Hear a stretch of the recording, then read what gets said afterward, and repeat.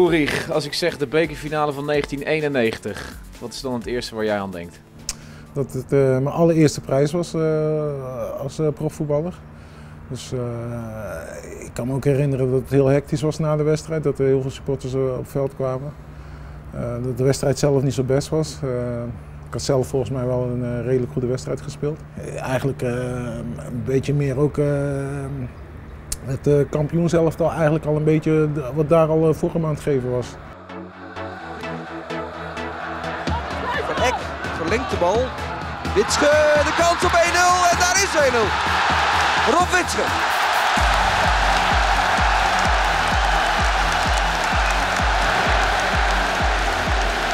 De achtste minuut, de corner van Blinker. Van Eck zit ertussen. En hij doet het vervolgens helemaal zelf, Witsche. Hij kleunt het duel in, gaat door en geeft Van Grinsburg een schijn van kans. Nadat wij de goal hadden gescoord, denk ik dat we geen bal meer geraakt hadden. En uh, ja, gewoon zoveel spanning en adrenaline gaat door je lichaam. En uh, ja, het, het, het, was gewoon grandioos dat we dat gehaald hadden. En je zag gewoon dat iedereen heel bang was om een goal tegen te krijgen natuurlijk. We waren blij dat de goal gevallen was.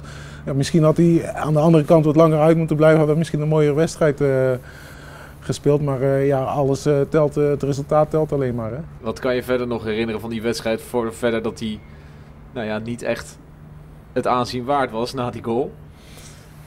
Ja, wat ik me daaruit kan herinneren dat er heel veel mensen op het veld waren gekomen na de wedstrijd. En dat iedereen hartstikke blij was. En ja, dat ik eigenlijk heb gezien wat, er allemaal, wat je allemaal kan bereiken als je bij Feyenoord speelt. Dus dat is gewoon een geweldig, geweldige beleving om dat mee te maken als jonge speler.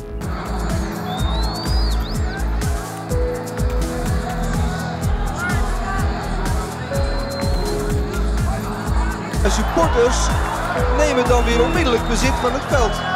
En dus is daar weer een karwei voor Wim Jansen.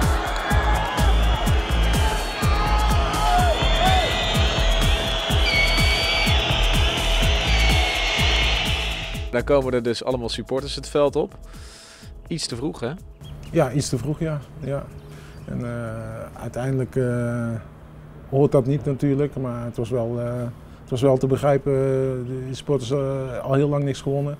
En uiteindelijk winnen we de beker. Talment op rechts, mag doorgaan. Leek even op buitenspel.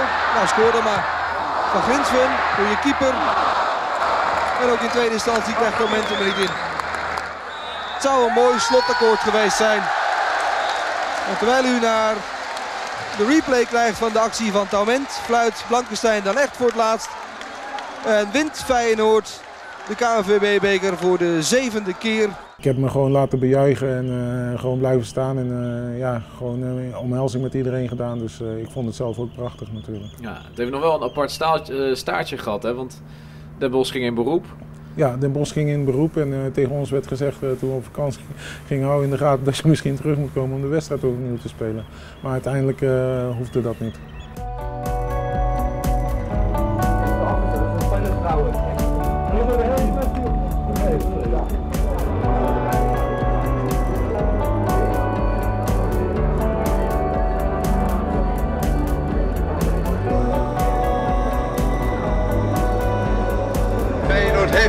Weer een cup.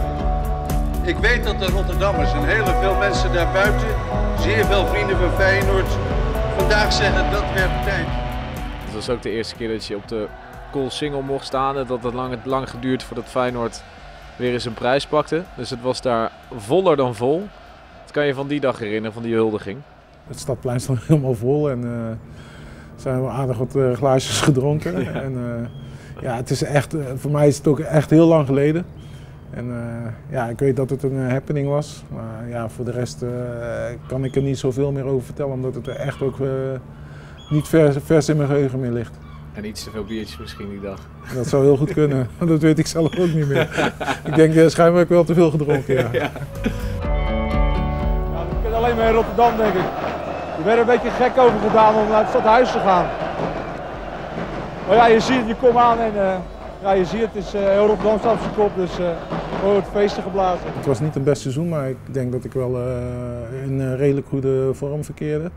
Maar ja, naar, eh, wanneer het dramatisch is, dan is het eigenlijk wel zo. Hè, als het zo heel dramatisch ge- geweest is, kan je het eigenlijk alleen maar beter doen. En ik, ik denk dat het eigenlijk ook helemaal niet eh, verkeerd is geweest dat het eh, slecht is gegaan. Omdat we het daarna eigenlijk alleen maar beter hebben kunnen doen. Jij was het gewend, hè, hier staan. Nou, ik heb hier wel eens eerder gestaan, ja. Een poosje geleden was dat. Maar had je toen net zoveel?